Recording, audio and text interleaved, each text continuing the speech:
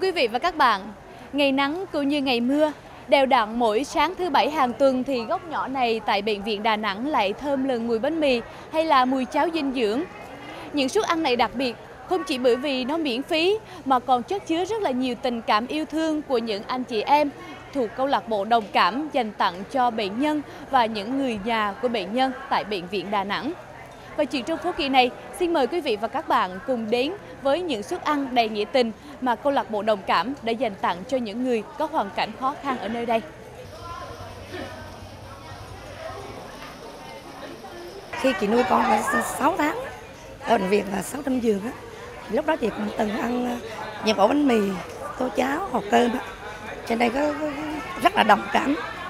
những cái mảnh đời khó khăn bất hạnh thì chị nung nấu một cái cái cái, cái ước nguyện muốn sau này được chia sẻ. Những cái bữa ăn sốt cháo bánh mì đến với các bệnh nhân. Thì từ đó thì câu lạc bộ thiện nguyện đồng cảm ra được sáng thứ bảy hàng tuần dù trời còn chưa hưởng, rất nhiều bệnh nhân và người nhà bệnh nhân đã tập trung lại xếp thành một hàng dài tại một góc nhỏ quen thuộc ở bệnh viện Đà Nẵng. Nếu ai đó vô tình đi ngang qua khu vực này tại thời điểm trên, thì giữa không khí buồn buồn, kèm theo mùi thuốc khử trùng, còn có những hương thơm của mùi bột mì nướng giòn, của những phần trứng ốp la thơm lựng trên chảo nóng. Đó là những suất ăn được thực hiện tại chỗ, trao tận tay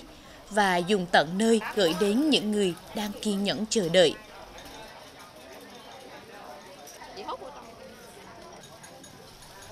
Hoàn toàn miễn phí, nóng giòn, vệ sinh, đủ dinh dưỡng để bắt đầu một ngày mới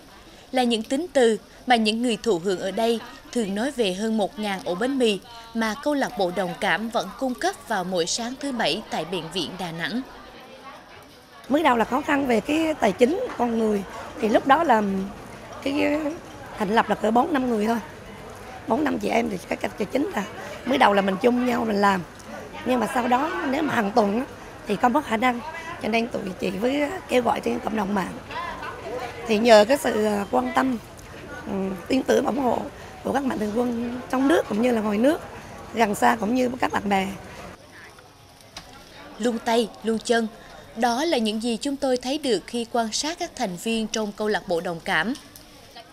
Lực lượng mỏng hơn nhiều so với lượng bệnh nhân và người nhà bệnh nhân đổ về mỗi lúc một đông. Nên để phục vụ hết nhu cầu các thành viên trong câu lạc bộ đồng cảm đã phân công nhóm, cử người hỗ trợ ở từng cụm và chia ra thật nhịp nhàng. Cứ như thế, suốt 4 năm kể từ ngày thành lập, hiệu quả của công tác thiện nguyện không chỉ duy trì mà lan tỏa khắp các bệnh viện trên địa bàn thành phố Đà Nẵng, mà còn ở những vùng miền khó khăn tại miền Trung Tây Nguyên.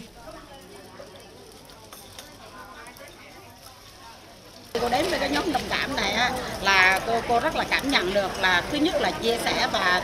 cái, cái việc làm để thành công được. Đó là sự đoàn kết và cái tấm chân thành của các em các các bạn ở nhóm đồng cảm. À, nói chung là tất cả ai cũng có việc gia đình nhất là phụ nữ nhưng mà các em cũng có con rất là con nhỏ nhưng mà à, cái công việc á, mà của các em á, rất chi là nhiệt tình 4 giờ sáng là đến đây rồi à, là chăm lo cái công việc này. Và nói chung lại không phải ở đây mà bệnh viện ung bướu bệnh viện 600 giường. Rồi người già neo đơn. Rồi à, các cái chương trình mà như là trung thu thiếu nhi rồi rồi à, à, cuối năm hàng năm á, là đi họ những cái hộ nghèo ở các nơi rất là xa xôi. Nhiều cảm xúc lắm nhưng mà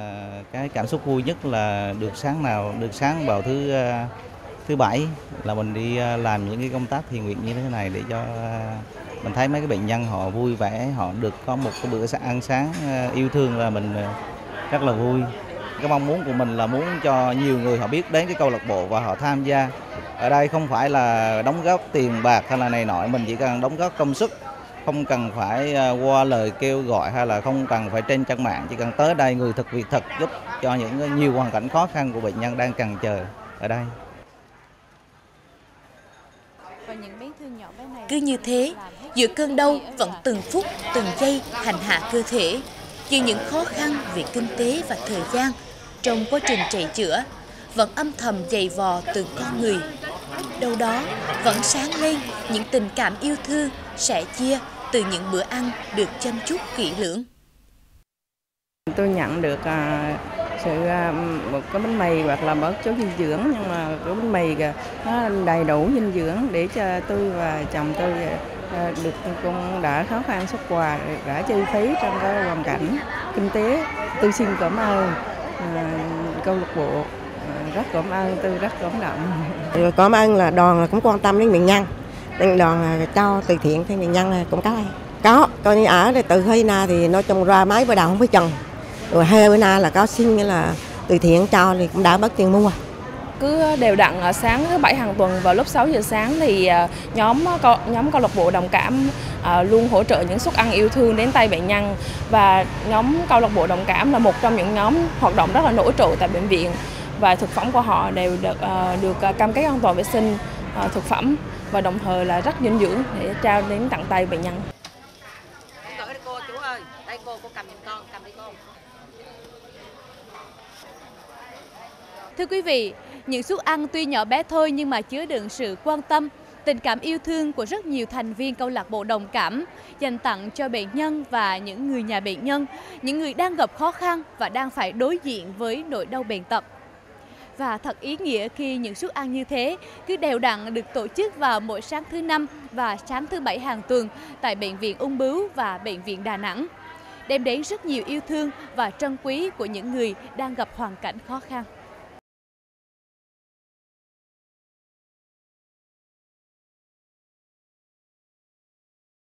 Cứ hàng tuần là sáng thứ bảy là một ngàn bánh mì ốc la. Sáng thứ năm đó là cỡ 900 800 rưỡi suất cháo trên bệnh viện ung bướu. Đó là hàng tuần còn hàng tháng đó, là tổ chức văn nghệ đồng hành cùng các hội tình nghệ sĩ đồng hành văn nghệ cho bệnh viện à, khoa ung bướu của bệnh viện đa khoa mình luôn. Mỗi tháng việc hỗ trợ cho khoa thẳng 33 bệnh nhân mỗi bệnh nhân 100 và những cái phần quà. Cái đó là định kỳ hàng tháng đây còn bên sắp 600 giường thì mỗi tháng chị nấu từ 2 đến 3 lần.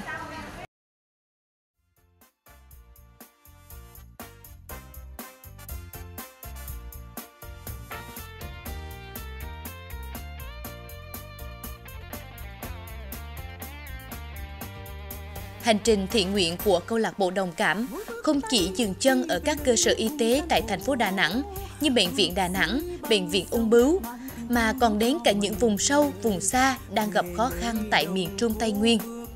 Sự đồng cảm đã theo chân các thành viên trong câu lạc bộ, hiện diện trong từng hộp sữa, ổ bánh mì, quà bánh trung thu, đồ chơi, cặp vở, sách bút, gạo và nhu yếu phẩm, thuốc men. Những chiếc vé trở về quê ăn Tết đến bà con và trẻ em còn gặp nhiều khó khăn, thiếu thốn tại Quảng Bình, Quảng Nam, Con Tum. Và trên chặng đường dài vất vả, nhưng cũng rất nhiều niềm vui và hạnh phúc đó. Nhiều khi phải đối mặt với những thử thách khó khăn, thậm chí là nguy hiểm bởi thiên tai, thì những bước chân đồng cảm vẫn không biết mệt mỏi.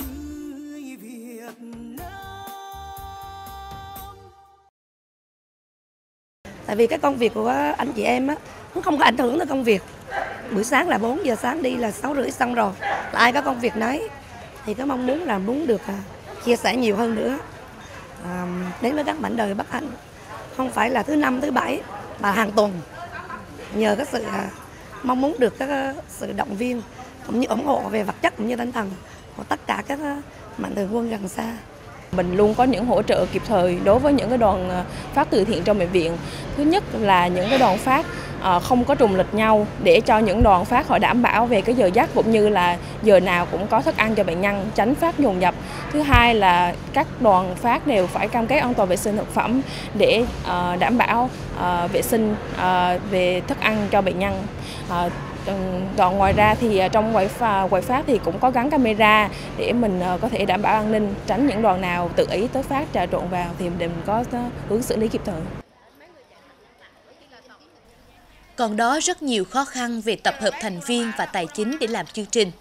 Tuy nhiên, với tình cảm chân thành, các anh chị trong câu lạc bộ đồng cảm vẫn tâm niệm sẽ cố gắng từng ngày, từng giờ để những chương trình như 1.000 ổ bánh mì, 1.000 suất cháo dinh dưỡng chuyến xe nghĩa tình vẫn được tiếp tục. Tất cả những nỗ lực đó không nằm ngoài mục đích đem đến sự đồng cảm, sẻ chia, làm dịu bớt những đau khổ của những người kém may mắn. Thưa quý vị và các bạn, Thật ý nghĩa khi chúng tôi à, có mặt ở đây cùng với à, những thành viên của câu lạc bộ đồng cảm để cùng chia sẻ những việc làm ý nghĩa và thiết thực. Dù nhỏ bé thôi, nhưng mà những chiếc bánh mì, những bát cháo dinh dưỡng là biết bao công sức, thời gian, tình cảm và đồng cảm đã dành tặng cho những bệnh nhân. Và những mến thương nhỏ bé này đã trở nên ý nghĩa hơn đối với những hoàn cảnh còn gặp nhiều khó khăn trong xã hội, nhen lên biết bao niềm tin và hy vọng vào một cuộc sống tốt đẹp hơn.